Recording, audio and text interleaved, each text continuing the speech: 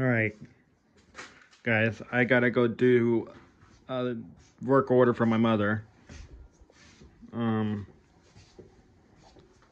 um, she's wanting me to come and give, she wants to give me my medicine. And she wants to have her help me take out the trash. So I'll title it as Helping My Mom Taking Out the Trash. And that's what I'll put in this video for today.